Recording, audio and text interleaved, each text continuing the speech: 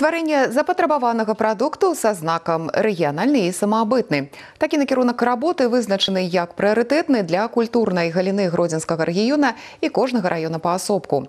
Арыенцір на стварэнне і рэкламаванне брэндавых мерапрыемстваў. Гэта дапаможа захаванню культурнай спадчыны і павышэнню турыстычнай прывабнасці прынёмання, як унутры краіны, так і за яе межамі. Выкананне рэгіянальнага комплексу мерапрыемстваў у рамках дзяржпраграмы культура Беларусі разлічанай на 2000 2016-2020 гады і перспектывы развіцця галіны разгледзелі ўдзельнікі пасяджэння абласнога выканаўчага камітэта. Дасягненняў шмат. Гэта безумоўна і нашы дасягненні якія ўсе ведаюць але пра іх не сорамна ўспомніць. Гэта спецыяльная прэмія прэзідэнта Рэспублікі Беларусь штогод.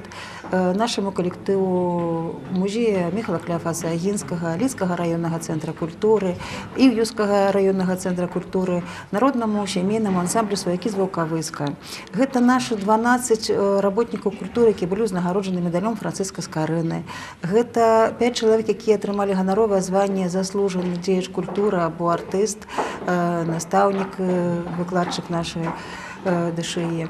Гэта безумоўна аналіз тых мерапрыемстваў, якія ладзіліся на працягу гэтага перыяда ў гродненскай обласці ад маленькіх да вялікіх і іх эфектыўнасць, іх запатрабаванасць.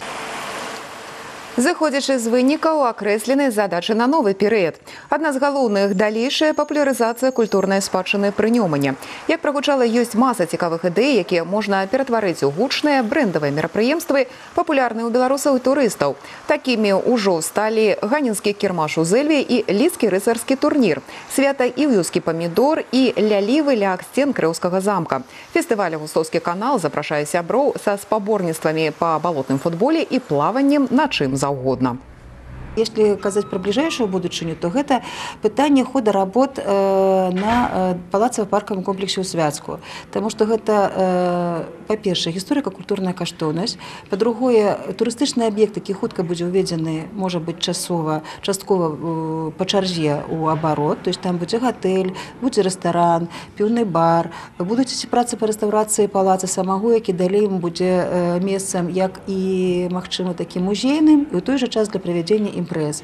Гэта аб'ект, які э, на шляху густоўскага канала, э, дзе можна спыніцца турысту для таго, каб там пераначаваць, а пасля пабыць і пакатацца, напрыклад, на байдарцы, на веласіпедзе на густоўскім канале або прыняць удзел у імпрэзе. І літаральна ў гэту пятніцу 25 верасня на культурную імпрэзу запросіць залесе.